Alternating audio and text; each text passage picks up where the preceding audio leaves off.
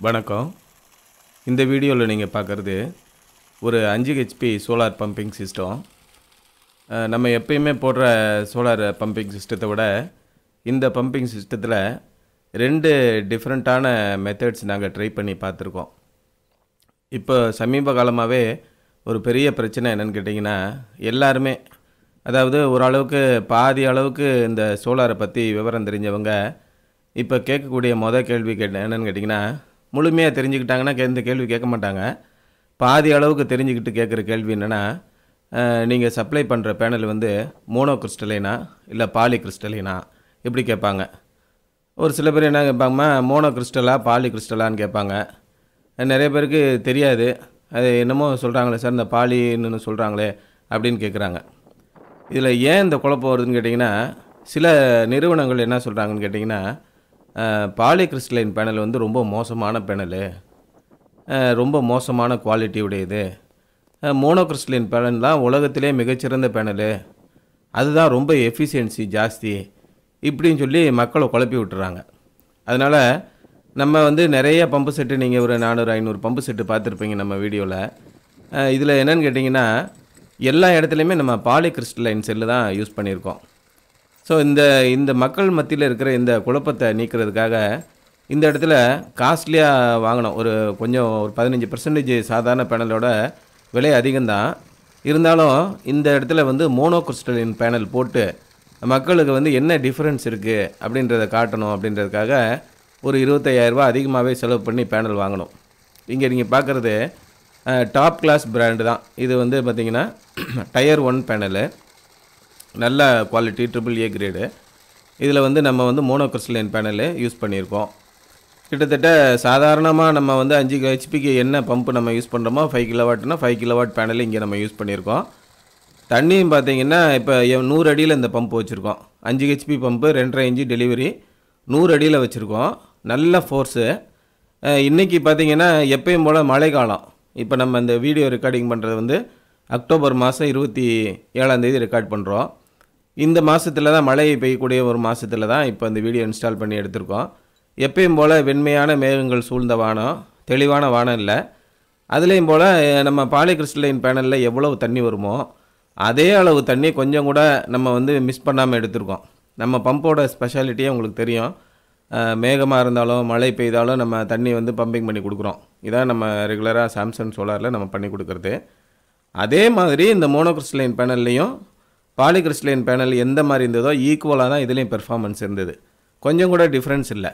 இதில் போட்டிருக்க polycrystalline panel பார்த்தீங்கன்னா மோனோகிறிஸ்டலின் பேனல் பாலிகிறிஸ்டலின் பேனல் ரெண்டுமே ஈவனாக இருக்குது ஏன் இந்த குழப்பம் வருது அப்படிங்கிறத ரொம்ப தெளிவாக புரிஞ்சுக்கணும். அதாவதுங்க செல் எஃபிஷியன்சின்னு ஒன்று இருக்குது மாடியூல் எஃபிஷியன்சின்னு ஒன்று இருக்குது இப்போ உதாரணமாக நல்ல ஹையஸ்ட் குவாலிட்டியில் ஒரு பாலிகிறிஸ்டலைன் பேனல் நம்ம எடுத்துக்கிடுவோம். அதே மாதிரி மோனோகிறிஸ்டலைன் பேனலை நம்ம கம்பேர் பண்ணுறக்காக எடுத்துக்குவோம். பூமியோடைய வளிமண்டலத்துக்கு வெளியே நம்ம செயற்கை கோள்கள்லாம் பறக்குது இல்லையா? அந்த இடத்துக்கு போயிட்டோம்னா எந்த மேகமும் கிடையாது எந்த தூசியும் கிடையாது எந்த ஈரப்பதமும் கிடையாது. நேரடியாக சூரிய வெளிச்சத்தை பிடிக்குது. அப்போது பிடிக்கும்போது உதாரணமாக ஒரு சோலார் பிளேட்டை கொண்டு போய் செயற்கை கோளில் வச்சுருக்கோம் அப்படின்னா ஒரு சதுர மீட்டர் ஒரு மீட்டர் அகலம் ஒரு மீட்டர் நீளத்துக்குள்ளேயே ஒரு சதுர மீட்டரில் ஆயிரத்தி ஐநூறு வாட்ஸ் வந்து ப்ரொடக்ஷன் ஆகும். அதே பேனலை நம்ம பூமியோடைய மேற்பரப்பில் வைக்கிறோம். இங்கே காற்று உண்டு காற்றில் தூசி உண்டு தூசியில் ஈரப்பதங்கள் உண்டு. இப்படி பலவிதமான பொருட்கள் வந்து சூரிய சக்தியை சிதறடிக்கிறதுனால ஒளிச்சிதறல் ஏற்படுது. இதனால் பூமியோடைய மேற்பரப்பில் உங்களுக்கு ஐநூறு வாட்ஸ் தான் கிடைக்கும் ஒரு சதுர மீட்டர். அதாவது மூணே கால் அடி அகலம் மூணே கால் அடி நீளம் கொண்ட ஒரு சதுரத்தை வரைஞ்சிங்கன்னா ஒரு மீட்டருக்கு ஒரு மீட்டர் ஐநூறு மீட்டர் ஐநூறு வாட்டு கிடைக்கும். இப்போது செல் எஃபிஷியன்சி அப்படின்ற பாதுக்கு வருவோம்.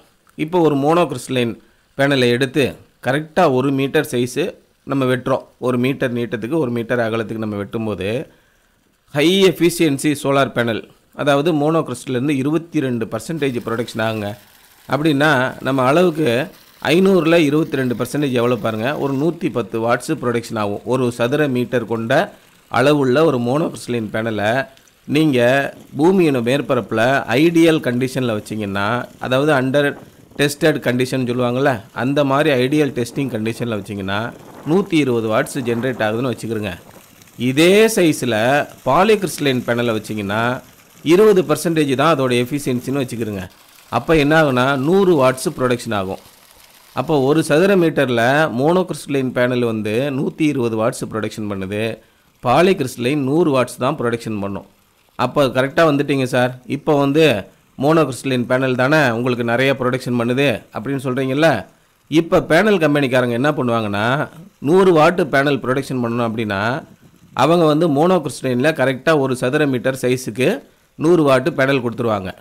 பாலிகிறிஸ்டலைன் பேனல் தயார் பண்ணுறவங்க என்ன பண்ணுவாங்க? நூறு வாட்டு ப்ரொடக்ஷன் பண்ணுற பேனல் கொடுக்குறக்கு ஒன்றே கால் மீட்ரு கொஞ்சம் பெரிய சைஸ் பேனலாக கொடுத்துருவாங்க. அப்போது பாலிகிறிஸ்டலைன்லேயும் நூறு வாட்டு தான் வரும் மோனோகிறிஸ்டலைன்லேயும் நூறு வாட்டு தான் வரும். என்ன பாலிகிறிஸ்டலைன் கொஞ்சம் பெரிய சைஸாக இருக்கும் மோனோகிறிஸ்டலைன் கொஞ்சம் சின்ன சைஸாக இருக்கும். இதை விலைக்கு சொல்கிறதுக்காக தான் இங்கே போட்டிருக்கேன். இங்கே நல்லா பாருங்கள் பதினாறு பேனலில் நான் ஐயாயிரம் வாட்டு அட்டைன் பண்ணிட்டேன். நார்மலாக நாங்கள் பாலிகிறிஸ்டலின் பேனலில் பதினெட்டு பேனலில் ஐயாயிரம் வாட்டு அட்டைன் பண்ணுவோம். இப்போ பாருங்கள் ரெண்டுக்குள்ள டிஃப்ரென்ஸு நம்பர் ஆஃப் பேனல்ஸ் தான் குறையுதே ஒழிய மற்றபடி பெர்ஃபார்மன்ஸில் எந்த டிஃப்ரென்ஸ் இருக்காது. ஒருத்தர் வீட்டு மாடியில் வந்து கொஞ்சம் இடம் தான் இருக்குது அதில் நான் அஞ்சு கிலோவாட் போடணும் சார். என்ன சார் பண்ணுறது அப்போது நீங்கள் மோனோகிறிஸ்டலைன் போங்க. காசு அதிகமான போகிறோம் பரவாயில்ல. நம்மகிட்ட வந்து இடம் கம்மியாக இருக்குது அப்போ என்ன பண்ணுறது அந்த மாதிரி ஒரு சூழல் வரும் பொழுது நீங்கள் மோனோகிறிஸ்டலைன் பேனல் செலக்ட் பண்ணணும். இடம் நிறையா இருக்குது சார். தாராளமாக இருக்குது ஏன் நம்ம போட்டு பணத்தை வீணாக்கணும்? இதனால் உங்களுக்கு பத்து பைசா புண்ணியம் கிடையாது. ரெண்டுலேருந்து வர்ற மின்சார அளவு சூரிய சக்தியிலேருந்து உற்பத்தி ஆகிற மின்சார அளவு சரிசமமாக இருக்கும். எந்த பிரச்சனையுமே இருக்காது. அதனால் இங்கே இருக்கிற பம்பிங் பெர்ஃபார்மன்ஸ் பாருங்கள் அருமையான பெர்ஃபார்மன்ஸு பாலிகிறிஸ்டலைனில் என்ன மாதிரி பெர்ஃபார்மன்ஸ் இருக்குமோ அதே அளவு பெர்ஃபார்மன்ஸை இங்கே நீங்கள் பார்க்கலாம். கிட்டத்தட்ட ரெண்டரை இன்ச்சு குழாயில் ஒரு மூணு அடி நாலு அடி ஃபுல்லாக தள்ளி ஊற்றுது மேகம் நிறைந்த ஒரு நாளில் எடுத்தது. நீங்களே பாருங்கள் நான் கிட்டத்தட்ட ஒரு அரை கிலோமீட்டர் சுற்று வட்டாரத்தை உங்களுக்கு காமிச்சிருக்கேன். வெயில் எப்படி இருக்கு? நிழல் எப்படி விழுந்துட்டுருக்கு என்ன ஏதுங்கிறத நீங்கள் நல்ல தெளிவாக பார்க்கலாம். வானத்தையும் பார்க்கலாம். சூரியனையும் பார்க்கலாம் எல்லாமே பார்க்கலாம். அப்போது வெரி நார்மல் டே ஒரு மழை காலத்தில் இருக்கிற ஒரு சாதாரண நாளில் எப்படி ப்ரொடக்ஷன் ஆகுறத நீங்கள் கண்கூடாக பார்த்துக்கலாம். அதனால் நீங்கள் தாராளமாக நீங்கள் பாலிகிறிஸ்டலைனை போடலாம். விலை கம்மி உங்களுக்கு. மோனோகிறிஸ்டலைன் போட்டிங்கன்னா பதினஞ்சுலேருந்து இருபது சதவீதம் விலை அதிகம். அதனால உங்களுக்கு என்ன கிடைக்குது? கடைசியாக உங்களுக்கு நிச்சயமாக ஒன்றும் கிடைக்க போகிறது கிடையாது. ரெண்டுமே ஒரே அளவு பம்பிங் தான் பண்ணும். அடுத்ததாக இங்கே நாங்கள் போட்டிருக்கிறது மேனுவல் ட்ராக்கிங் இந்த மேனுவல் ட்ராக்கிங்கில் ரெண்டு டன்னு தாங்கக்கூடிய மூணு ஜேக்கை நாங்கள் கனெக்ட் பண்ணியிருக்கோம். நம்ம காரை தூக்குறக்குரிய ஜேக் இருக்குது பார்த்தீங்களா இந்த ஜேக் போடும்போது ஒரு சின்ன ஒரு அஞ்சு வயசு ஆறு வயசு குழந்த கூட இந்த பேனலை ஈஸியாக திருப்ப முடியும். ஆனால் ஸ்ட்ரென்த்துன்னு பார்த்தீங்கன்னா ஆறு டன்னு தாங்கும். கிட்டத்தட்ட நூற்றம்பது நூற்றி அறுபது கிலோமீட்டர் வேகத்தில் காற்று அடித்தாலும் தாங்கக்கூடிய வகையில் இந்த பேனல் நாங்கள் இந்த மேனுவல் ட்ராக்கிங் ஸ்ட்ரக்சரை நாங்கள் ரெடி பண்ணியிருக்கோம். இப்படி நம்ம ரெண்டு டன்னு தாங்கக்கூடிய மூணு ஸ்ட்ரக்சரை கனெக்ட் பண்ணி ஆறு டன்னு நம்ம தாங்கக்கூடிய அளவுக்கு மிக ஸ்ட்ராங்காக நல்ல வலுவான ஒரு மேனுவல் ட்ராக்கிங் ரெடி பண்ணியிருக்கோம். அதை இயக்கிறது மிக மிக எளிது. சின்ன பிள்ளை கூட லேடிஸ் கூட வயசானவங்க கூட ரொம்ப சர்வசாதாரணமாக இரண்டு விரலை கொண்டு ஈஸியாக சுற்றக்கூடிய அளவில் மிக மென்மையாக நாங்கள் ரெடி பண்ணியிருக்கோம். அதே நேரத்தில் காற்று வீசும்போது கடுமையான அளவுக்கு எதிர்த்து தாங்கி நிற்கக்கூடிய அளவுக்கு வலிமையான ஒரு ஸ்ட்ரக்சரை நாங்கள் ரெடி பண்ணி கொடுத்துருக்கோம். இந்த ஸ்ட்ரக்சர் பார்க்கும்போது நிறைய பேர் பெரிய பெரிய ஸ்கொயர் பைப்பு போட்டு பெரிய பெரிய லெவலில் பண்ணியிருப்பாங்க அவ்வளோது தேவையில்லை உங்களுக்கு. நமக்கு தேவை அதிகமான பலம் கொண்டு காற்று அடிக்கும் பொழுதும் நல்ல வேகமான வெட்ட வெளியாக இருக்குது பாருங்கள் வெட்ட வெளியாக இருக்கும்போதும் நமக்கு வந்து இந்த ஸ்ட்ரக்சர் தாங்கி நிற்கணும் அப்படின்னா நம்ம என்ன பண்ணணும்? ரொம்ப மென்மையாக இயங்கக்கூடிய வகையில் இருக்கணும். அதே நேரத்தில் மிக வலிமையானதாக இருக்கணும். இன்றைக்கி பாருங்கள் சூரிய மேகத்துக்குள்ளே தான் இருக்குது கிட்டத்தட்ட சாயங்காலம் நாலரை மணி ஆகிட்டு நாங்கள் ஃபுல்லாக திருப்பி வச்சுட்டோம். கிட்டத்தட்ட மேற்கு பக்கம் வந்து மே ஃபுல்லாக திருப்பி வச்ச பிறகு ரொம்ப அருமையாக ஃபங்க்ஷன் பண்ணுச்சு இந்த மேனுவல் ட்ராக்கிங் இப்படி மேனுவல் ட்ராக்கிங் போடுறதுனால சாதாரணமாக ஃபிக்ஸடில் போடக்கூடிய ஒரு பேனல் எந்த அளவுக்கு கரண்ட்டு ப்ரொடக்ஷன் பண்ணுவோம் அதை விட ஒரு முப்பது சதவீதம் உங்களுக்கு அதிகமாக கரண்ட் உற்பத்தி பண்ணி கொடுக்கும். ஒரே ஒரு விஷயம் என்னென்னா இந்த மேனுவல் ட்ராக்கிங்கை வந்து பக்கத்தில் இருந்து அப்பப்போ கொஞ்சம் திருப்பி வச்சுக்கணும். சூரியன் எங்கெல்லாம் போகுதோ அங்கெல்லாம் திருப்பி வச்சுக்கணும். இதுலேயே நீங்கள் வந்து ஒரு பவர் டிசி மோட்டார் கொடுத்துட்டீங்க அப்படின்னா அதுவே வந்து டைமிங் ஆப்ஷனில் அதுவே ஒவ்வொரு நேரமும் திரும்பி திரும்பி போய்கிட்டு இருக்கும். ஸோ இந்த மாதிரி ஒரு மேனுவல் ட்ராக்கிங் போட்டு அதையும் செக் பண்ணி கொடுத்து ஒரு பாலிகிறிஸ்டலின் செட்டப் போட்டு மோனோகிறிஸ்டலின் செட்டப் போட்டு ரெண்டுக்கும் கம்பேரிசன் பண்ணி கொடுத்துருக்கோம் இதில் இந்த வீடியோவில் அதனால் இனி வரும் காலங்களில் யாராவது உங்கள்கிட்ட வந்து மோனோகிறிஸ்டலின் பேனல் தான் சார் போடணும். அதுதான் உலகத்திலே ரொம்ப சிறந்தது அப்படின்னு சொன்னாங்கன்னா நீங்கள் மிக தெளிவாக சொல்லிடுங்க மோனோகிறிஸ்டலின் பேனல் சைஸில் சின்னதாக இருக்கும்.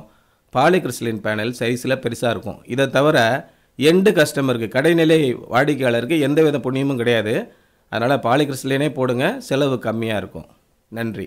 எங்களுடைய இந்த வீடியோக்கள் உங்களுக்கு பிடிச்சிருந்தா லைக் பண்ணுங்கள் உங்களுடைய நண்பர்கள் உறவினர்கள் வேண்டப்பட்டவங்களுக்கு இதை ஷேர் பண்ணுங்கள் அதே மாதிரி கீழே அந்த சிவப்பு கலரில் சப்ஸ்கிரைப் அப்படின்னு ஒரு பட்டன் இருக்குது அதை கிளிக் பண்ணி வைங்க. அப்போ நாங்கள் போடுற எல்லா வீடியோவும் உங்களுக்கு அப்பப்போ வந்து சேரும்.